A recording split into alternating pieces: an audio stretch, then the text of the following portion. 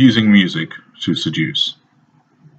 Music, one of the most powerful ways of conveying feelings and emotions.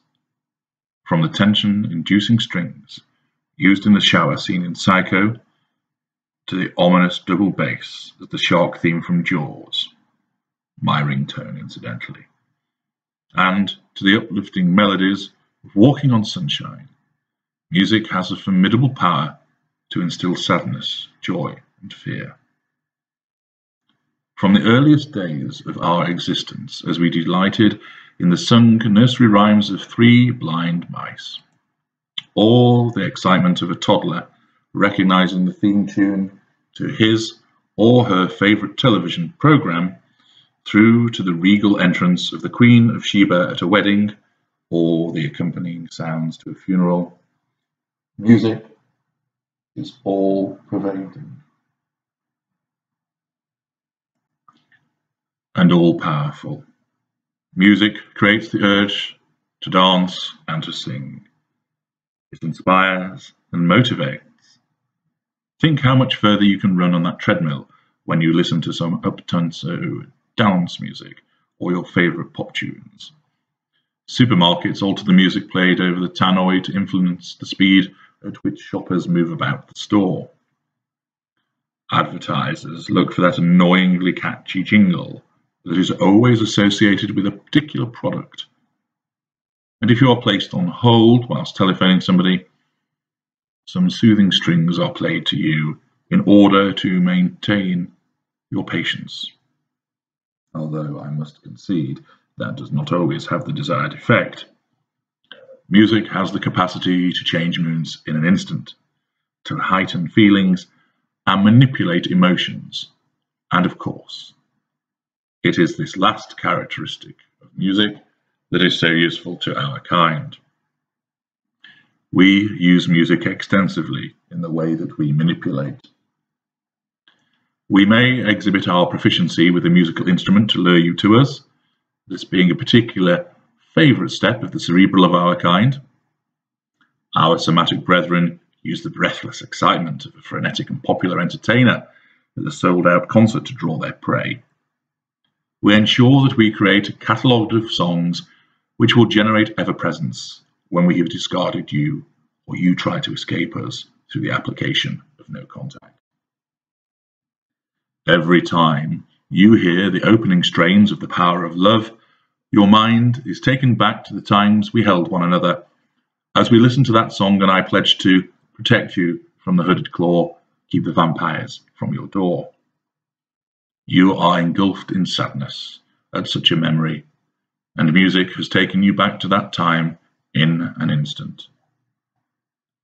We, of course, always look to create our song, which we use at first as a device to hook you, hold you, and then repeatedly remind you of what we once had, and torture you in the months and years following the cessation of our relationship.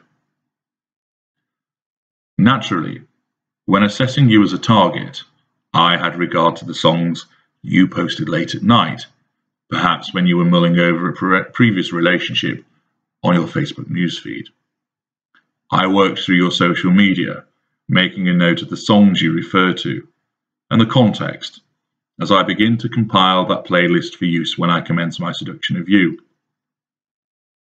I may use a lieutenant to gain access to your CD collection or to scroll through your iTunes list.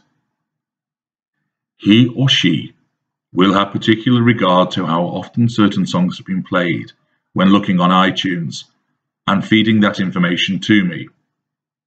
I make use of your list of songs and then supplement that list with the stock lists which I have and repeatedly use. I have such ready-made playlists of my favourite songs dependent on your favourite genres. Accordingly, I have a pop one, a rock one, a dance one, a classical one, a soundtrack one, and so on. All except rap. Rap is no use when trying to seduce.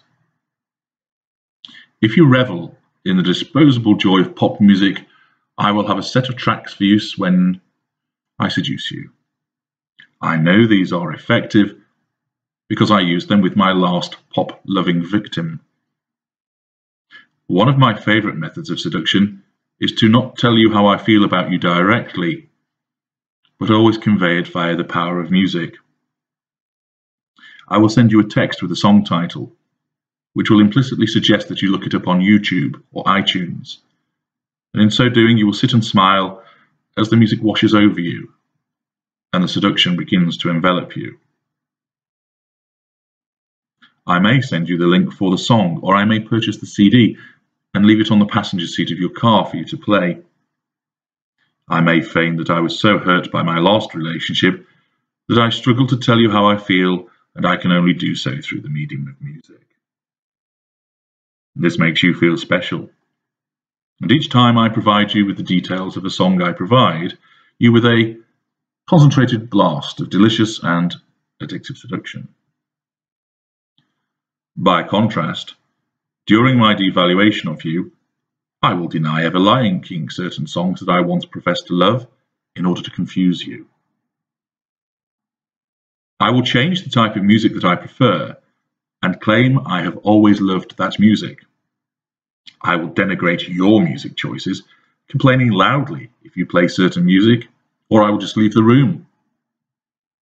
When I know you are struggling and feeling weak, I will then revert to the seduction tactics and suddenly fill the room with the sound of a particular song which is so very significant to you, and just stand and stare at you waiting for the inevitable tears to start to flow along with the fuel that I desire. Music is a powerful tool in our hands. It allows us to seduce. It allows us to denigrate. And it allows us to seduce once again. It lifts you up. It makes you feel cherished and special because we know exactly the right pieces of music and songs to play to you.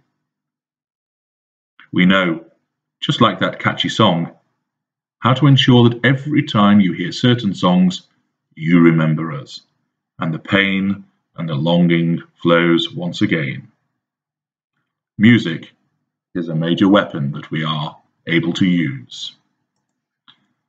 As Bonnie Tyler once sang, Once upon a time I was falling in love. Now I'm only falling apart.